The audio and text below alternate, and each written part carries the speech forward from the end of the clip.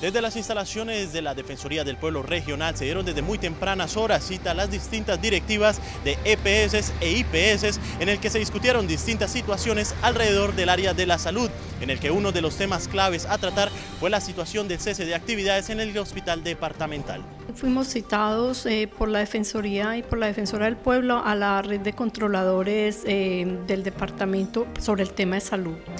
Eh, en el cual se convoca con el Ministerio Público, con la Defensoría también nacional, con la Super, para hacer una reflexión sobre eh, la situación de salud del departamento. Logramos en el transcurso de la mañana poder sentar a todos los actores, tanto de IPS como de EPS, como de la UT del Norte, asimismo como eh, la Clínica Villarreal, para que comencemos a construir unas fórmulas alrededor de cómo eh, hacer que los pagos eh, mensuales de las personas que trabajan dentro de la red hospitalaria puedan garantizarle todos los meses y no estemos en ese sosiego de que si voy a recibir mi, mi, mi remuneración por lo que hemos realizado.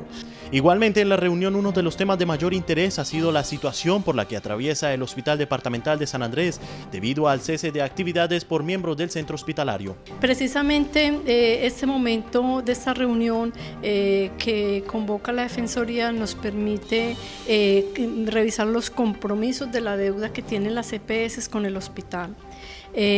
para así lograr flujo de caja y garantizar la, la, deuda que tenemos con todo el personal, pagarle a los trabajadores. Asimismo, la directora del hospital desmintió cierre alguno en cuanto a la prestación del servicio médico y explicó en qué áreas no se estaría prestando el servicio. El cese en este momento es para lo ambulatorio. El hospital está abierto en urgencias, cirugía urgente, atención urgente. Eh, estamos en eso, es como eh, logrando sacar una fórmula que no nos desgaste cada mes. Una fórmula como se planteaba, si es necesario eh, tener una, un análisis en la Comisión Séptima del Senado, trabajar con la Defensoría, para que se revise realmente cómo dar una solución mucho más permanente y menos agobiante para el departamento. Desde la sede de la Defensoría del Pueblo Regional, Michael Evans, Teleislas News.